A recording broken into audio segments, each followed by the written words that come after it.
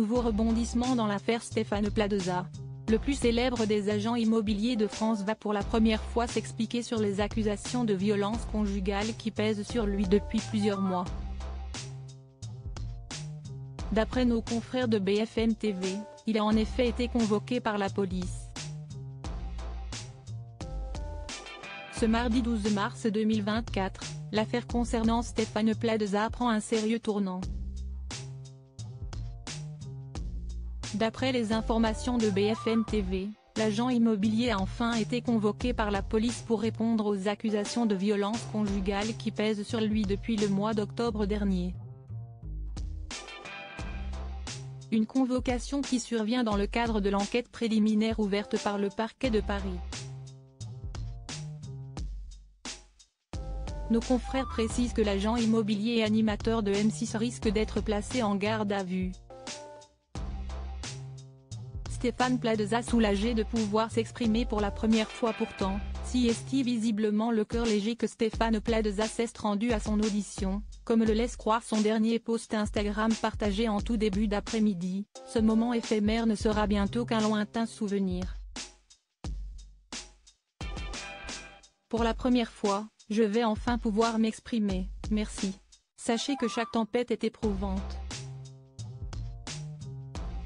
Certaines plus longues que d'autres mais j'ai appris que le soleil finit toujours par se lever, a-t-il écrit et de subtilement se défendre, je poursuis à être l'homme qui a été éduqué par une femme extraordinaire, ma tendre maman, qui m'a inculqué l'amour et le respect. Si est alors que je continuerai de tousser des étoiles pour contaminer les gens d'amour. Je vous aime, merci pour votre soutien. Un communiqué de presse officiel partagé par son cabinet d'avocats nous informe par ailleurs que Stéphane Plaza s'est rendu totalement disponible sur plusieurs jours et sans aucun régime de faveur afin de pouvoir répondre à toutes les interrogations qui se posent et pouvoir établir que les accusations à son encontre sont dénuées de tout fondement. Travers ce communiqué, l'agent immobilier réaffirme au passage qu'il n'a jamais été violent envers quiconque et demande à ce que sa présomption d'innocence soit respectée. Rappel des faits pour rappel, Stéphane Plaza est visé par les accusations de trois de ses anciennes compagnes. Celles-ci ont témoigné auprès de Mediapart et ont assuré avoir été victimes d'humiliations, menaces, violences verbales et, pour deux d'entre elles, physiques de sa part. Il y a par exemple Jade, dont le prénom a été changé, qui a écopé d'une incapacité de travail de 10 jours en raison des répercussions psychologiques suite à une violente altercation avec Stéphane Plaza.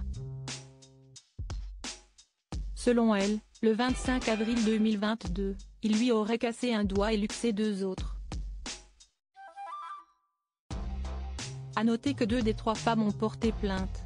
Une enquête avait naturellement été ouverte dans la foulée. Une autre enquête interne a été lancée par M6 mais n'a pas mis en lumière des comportements déplacés de l'animateur. Stéphane Plaza avait alors la possibilité de continuer ses tournages pour Maison à vendre ou Recherche appartement ou maison. Dans la tourmente, il pouvait compter sur le soutien de certains de ses proches, dont Sophie Ferjani, Karine Le Marchand ou encore Jean-Philippe